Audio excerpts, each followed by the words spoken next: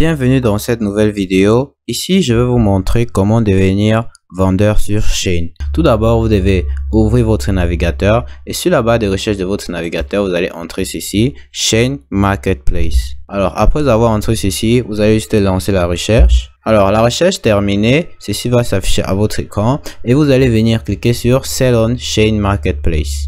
Alors, après avoir effectué toutes ces étapes, nous arrivons maintenant sur une plateforme de chaîne. Et sur cette plateforme, nous allons seulement scroller jusqu'au fond. Alors là, nous nous arrêtons ici. Et ce que nous allons faire ici est tout simplement venir cliquer sur Apply Today. Alors, en faisant cela, ça va nous amener sur cette nouvelle page. Et sur cette nouvelle page, nous remarquons qu'il y a un formulaire qui se fera d'inscription sur Chain Marketplace. Alors, maintenant, ce que nous devons faire, c'est seulement remplir les informations demandées ici sur le formulaire. Nous allons company name, company website, first name, last name et tant d'autres. Et après avoir rempli toutes ces différentes informations, nous allons cliquer sur Submit. Alors, en faisant maintenant cela, ça va nous permettre de devenir vendeur sur Chain.